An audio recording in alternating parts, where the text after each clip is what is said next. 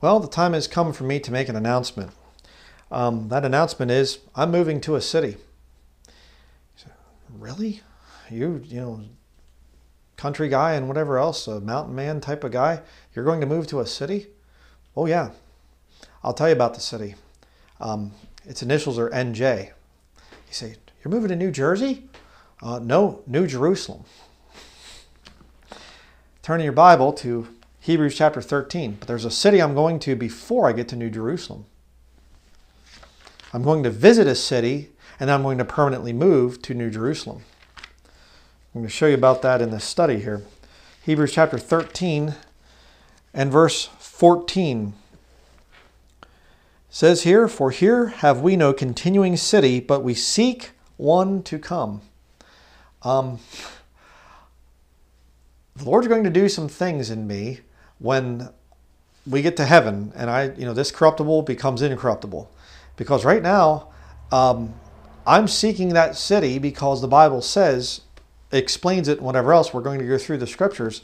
But uh, I'm not really seeking a city on the earth right now. I stay far away from the cities.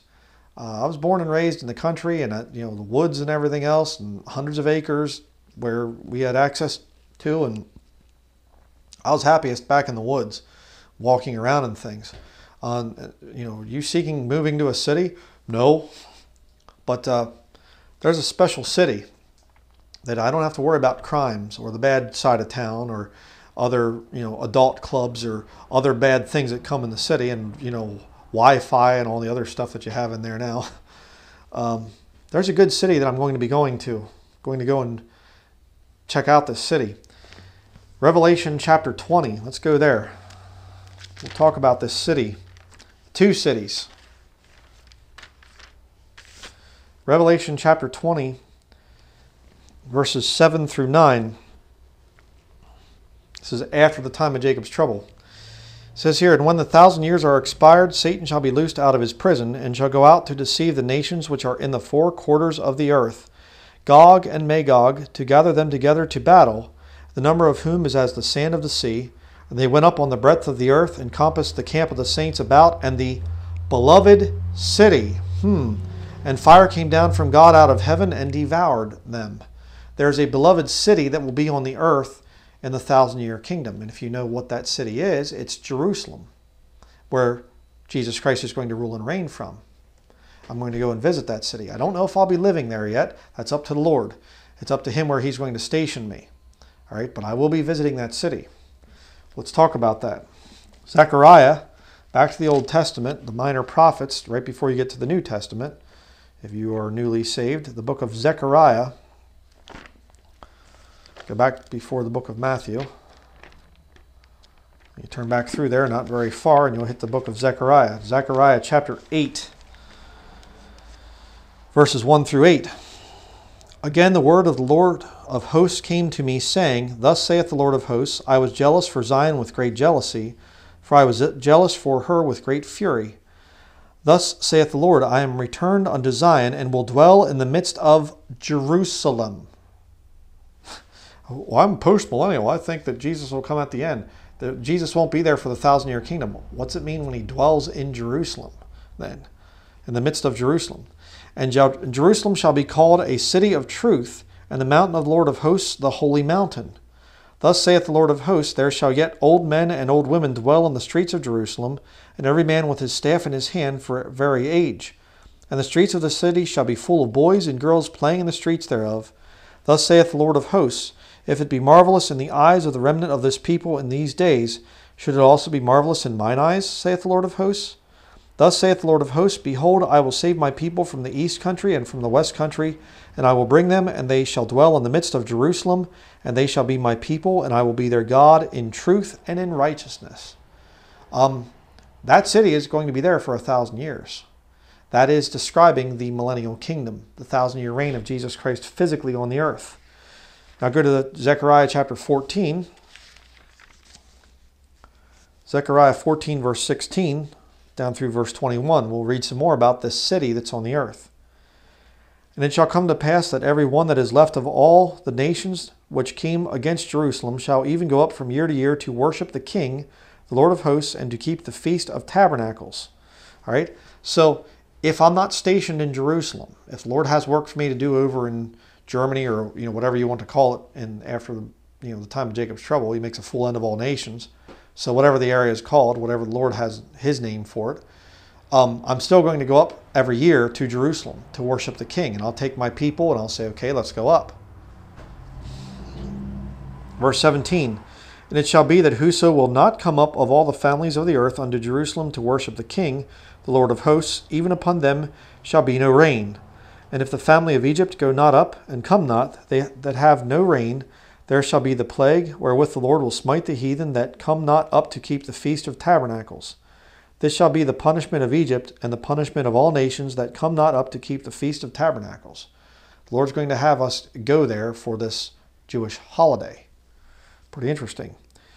Verse 20 In that day there shall in that day shall there be upon the bells of the horses holiness unto the Lord, and the pots in the Lord's house shall be like the bowls before the altar. Yea, every pot in Jerusalem and in Judah shall be holiness unto the Lord of hosts, and all they that sacrifice shall come and take of them and see therein. And in, that, and in that day there shall be no more the Canaanite in the house of the Lord of hosts. The Lord singles out a single race and says, okay, you're not coming in here. Hmm, interesting there. But um, I'm going to visit that city. But uh, where's the city that I'm moving to? Turn to Revelation 21. Revelation chapter 21, verse 1 through verse 17. And I saw a new heaven and new and a new earth, for the first heaven and the first earth were passed away, and there was no more sea. And I, John, saw the holy city, New Jerusalem. There you go. Coming down from God out of heaven, prepared as a bride adorned for her husband. And I heard a great voice of, out of heaven saying, Behold, the tabernacle of God is with men, and he will dwell with them, and they shall be his people, and God himself shall be with them, and be their God.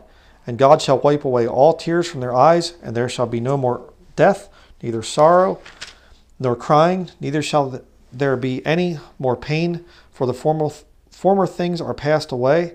And he that sat upon the throne said, Behold, I make all things new. And he said unto me, Write, for these words are true and faithful. And he said unto me, It is done. I am Alpha and Omega, the beginning and the end. I will give unto him that is athirst of the fountain of the water of life freely.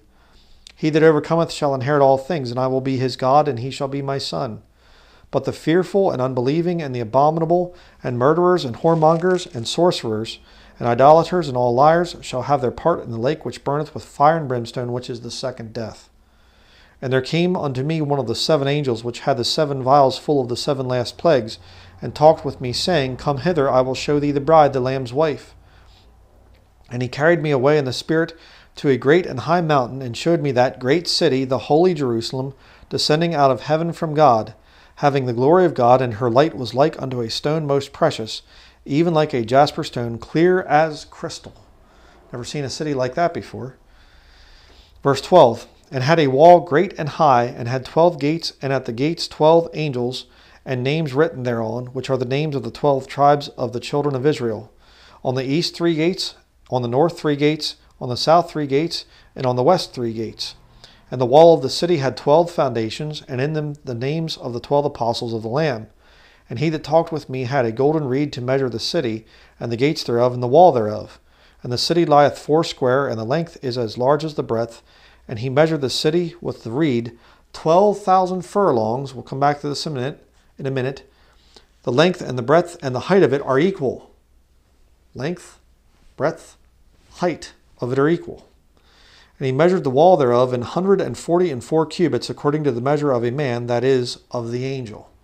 Um, yes, angels are men. There's no female angels in the entire Bible.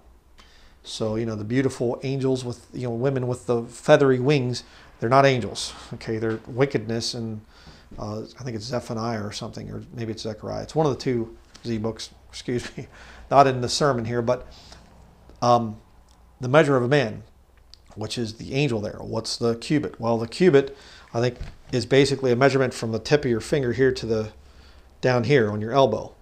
All right. Um, so how big is an angel's cubit? I have no idea. But uh, 12,000 furlongs. That is a more accurate representation of how big this New Jerusalem is going to be. Well, one furlong equals 660 feet. So, in other words, eight furlongs would be one mile. 660 times 8 would be 5,280 feet. Interesting. Oh, we don't, uh, re- I reject the Bible because it's, it's not scientific and whatever else. Then why are furlongs basically given as a measurement of one mile?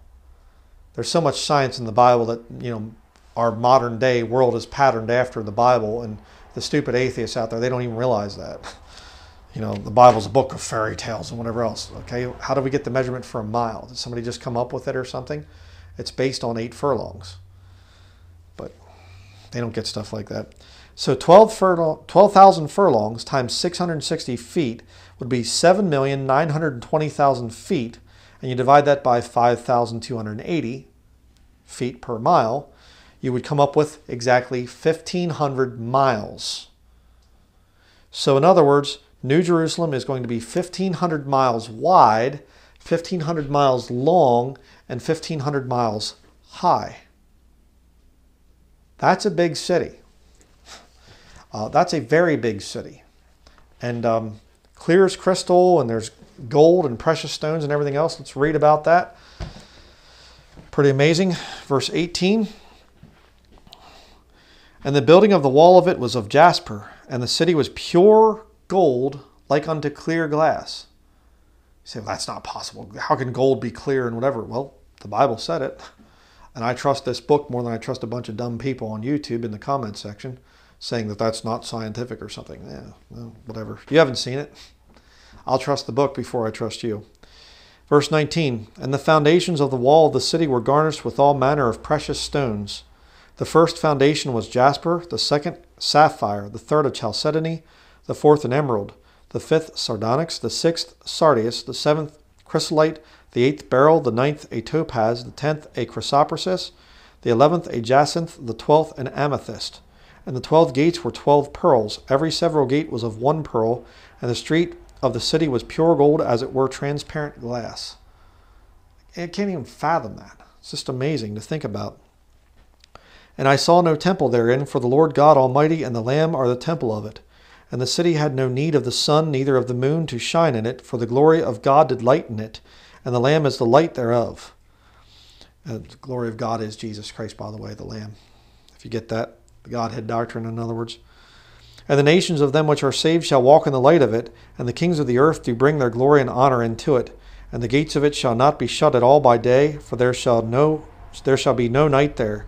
And they shall bring the glory and honor of the nations into it and there shall in no wise enter into it anything that defileth, neither worketh, neither whatsoever worketh abomination or maketh a lie, but they which are written in the Lamb's book of life. Sorry, we don't want any filth in here. Go. Sorry. Um, but you know, it's an interesting thing. I've seen something over the years with people. If they pick up a gemstone or there's some kind of a, you know, some kind of a crystal or ruby or something like that, and what do they do? hold it up to the light. They look through that. Wow, it's beautiful. Wow, look at that. That's so pretty. Why do they do that?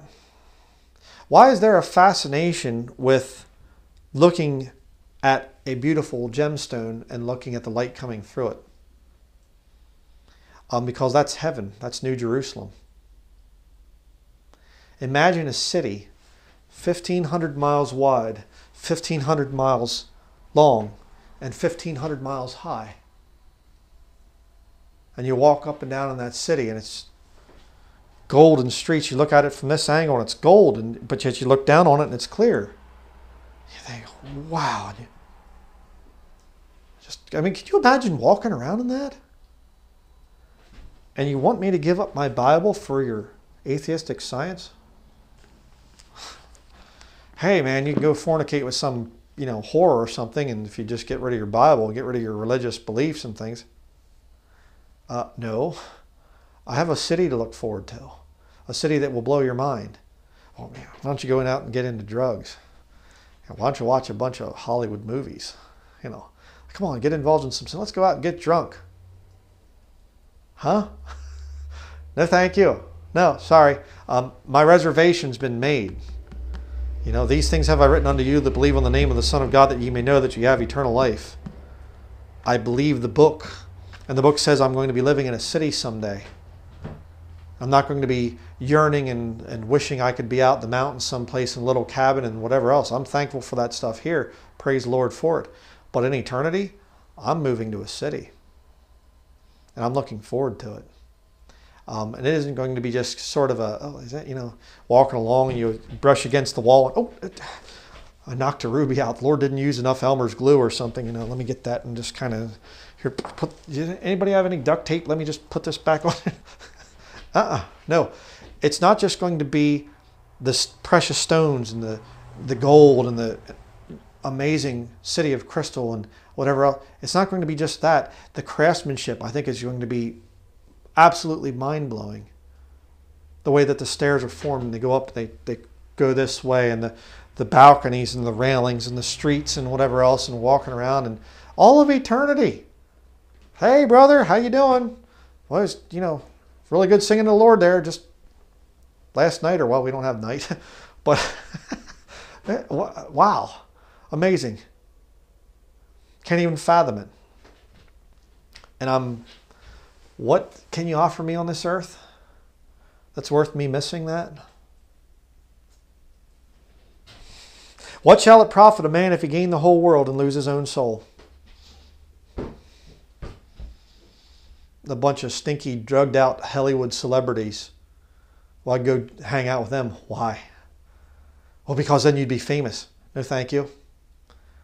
But have you seen their big house? Oh, you mean the big house that has uh, shingles that need to be replaced on the roof and some wiring issues that need to be done and some plumbing problems and whatever else. And you want me to give up heaven for that?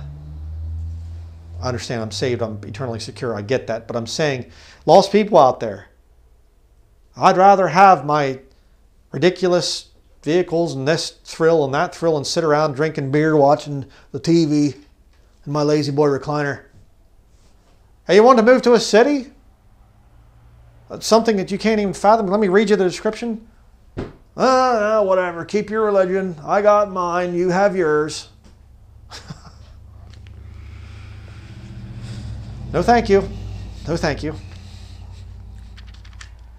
You can have the world. I'll take Jesus and the city that he's preparing. Revelation 22. And you know, if you understand the Bible, there's not that many people saved. Narrow is the way which leadeth unto life, and few there be that find it. So it's not going to be, you know, that we're stuck in some little, you know, little economy apartment. You know, I have a room. You know, my NIV said I have a room. I go to prepare a room for you.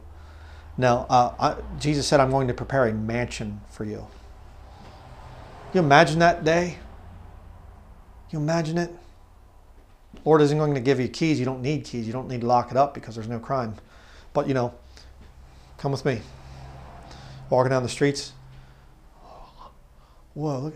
Wow, that's a nice mansion there. And Lord, and there's one that you say, oh, man, that couldn't be mine because that, that's really nice. And Lord says, uh, there you go. Enter in. Welcome to New Jerusalem. That's that's for me. And our problems down here what again?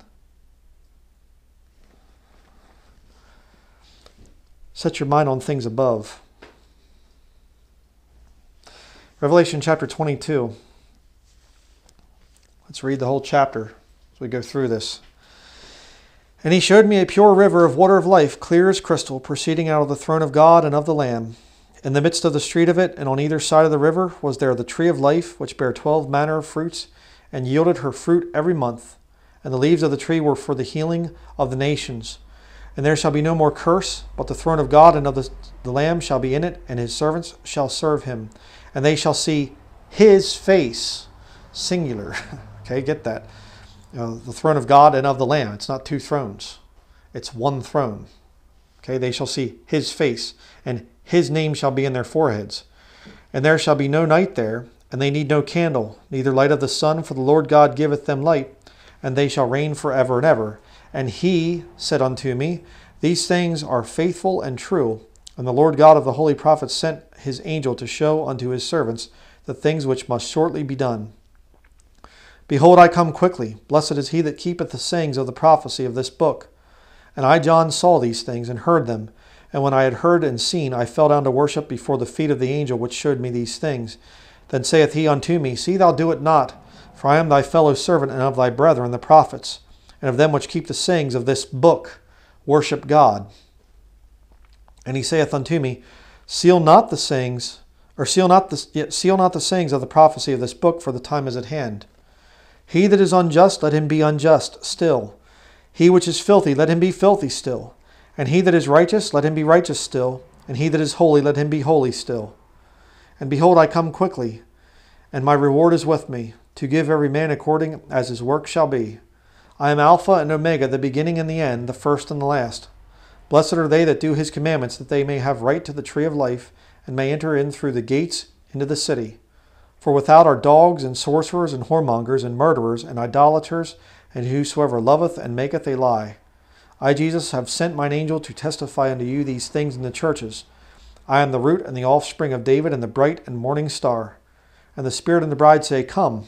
And let him that heareth say, Come. And let him that is athirst come, and whosoever will, let him take the water of life freely. There it is. King James Bible. There you go. This doesn't cost you anything. Watch the videos. I'm not monetized. I don't require that you send me 10% of your tithe. Do you want it? Do you want to go to the city someday? Do you want to be my neighbor?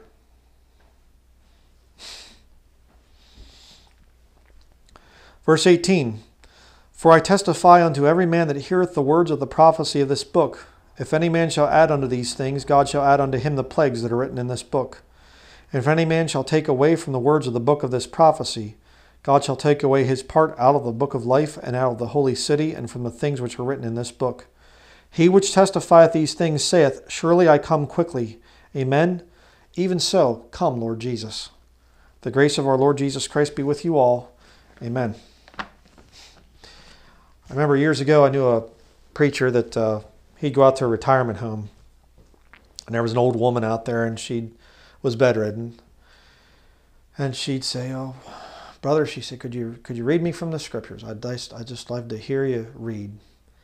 And he'd read to her from the scriptures. And the one week he came and he said, "Hey, sister," he said, "How I, how about I read to you from the book of Revelation?" And her she said, "No, no, I." I don't want you to read that book to me. She said, That's scary. There's, there's some really scary things in there. And he said, Well, how about chapter 21? Have you ever heard chapter 21? I don't know if I have. And he said, Let me read to you chapter 21. And he started reading chapter 21, and he said she started crying. And she said, That's the most beautiful thing I've ever heard. And he said, It's not all bad. He said, Next week I'll read chapter 22. No matter how bad things get, brethren, you can read chapter 21 and chapter 22. And remember that there's a city there, a city that we're going to move to someday. And the promises are, that are there are just, you can't even fathom it. Eye hath not seen, nor ear heard, neither have entered into the heart of man the things which God hath prepared for them that love him. There isn't anything in this world. Oh, hey, guess what? They just passed a law, Brother Bryan, that anybody speaks against the Catholic Church, they're going to put to death. Go ahead, make my day. you know, I'm that much closer to going to the city. I'll receive a better resurrection if I die. Hey, they're bringing out central bank digital currencies, Brother Bryan. What are we supposed to do? We can't buy food. What are we going to do? We could die. Okay, that much closer to the city. You can't hurt me. You understand? You wicked, stupid, satanic idiots out there, you can't hurt me. You can't threaten me. I'm not afraid of you. I have a promise. What do you have? Return to the earth? Maggot? Worm? Oh, you're going to evolve. That's right. Maybe you'll evolve and you'll have some kind of new DNA technology or some kind of new, you know, I'll be, I'll upload my brain to the internet and I'll exist forever. Moron.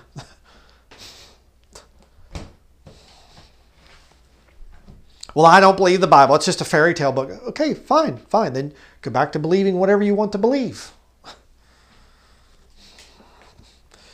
No matter what happens in the future, brethren, you have to remember that uh, um, the old hymn there, Amazing Grace. When we've been there ten thousand years, bright shining as the sun, we've no less days to sing God's praise than when we first begun. Again, boom, mind blown. 10,000 years, and we'll have, you know, maybe a reckoning of time or whatever else, but it's forever. Forever. Whatever you have to suffer down here, suffer it, go through it. Don't compromise. Stand. Stand firm. Stand strong. Hey, you need to do this, you need to do that. Well, that goes contrary to the Word of God. I'm not doing it. I won't do it. We're going to put you in prison. We're going to have to take you off to a camp someplace, and I'm not going to change. I have an eternity. It's written down. I'm guaranteed that I'm going to move to a city someday. And before that, I get to see New Jerusalem when the Lord is ruling and reigning on the earth. Can you fathom that? Can you think of what it's going to be like? Oh, where's your Jesus? Where's your God? Oh, he's in Jerusalem right now. come on. Oh, by the way, it's yeah, it's uh, oh man, Feast of Tabernacles. Hey, we have to go. Everybody, come on. We're going over to the Jerusalem there, city of the great King. Worship the King. He'll teach us of His ways. Get over there walking towards the temple and everybody's looking around and here comes the children they're running and they're playing and they're having a great time and whatever else and there's lions playing along with them and bears and you know there's a grizzly bear it's 10 foot tall grizzly bear polar bear and there's some child up on his back weed amazing what we have in the future don't let anybody rob you of your joy brethren we have some great times so hopefully that's been a blessing to you Always remember the precious promises that are in Scripture and go back to those when you're going through a rough time. It'll keep you strong. Okay? So, wish it could happen soon. You know, I did this study about 2050, and I'm and I was not saying 2050 will be the year that the millennial kingdom starts. A lot of people just see the title and they, they think that's all that they see. You know, they answer the matter before they hear it. I wasn't saying that. Okay, I'm saying by 2050, I believe we will be in the millennial kingdom. It could start in 2040, it could start in 2030. I, I have no idea. Um, I don't know, but we're getting towards the end and things are going to get really nutty. Um, so just please be encouraged, brethren. And uh, please do keep us in your prayers. And um, see you in the next video. Thank you for watching. King James Video Ministries has been faithfully preaching and teaching from God's Word since 2008. Our YouTube channel has never been monetized, and we do not accept money from the lost world because this would violate the Scriptures. King James Video Ministries is supported by saved brethren in accordance with 1 Timothy chapter 5, verses 17 through 18. If you have been blessed by our videos, we would ask that you prayerfully consider supporting this ministry financially. You can donate online by visiting www.kingjamesvideoministries.com or by sending a check or money order to King James Video Ministries, P.O. Box 214, Patten, Maine 04765. Thank you to all who donate to this ministry, and we pray for the Lord's blessing in your lives.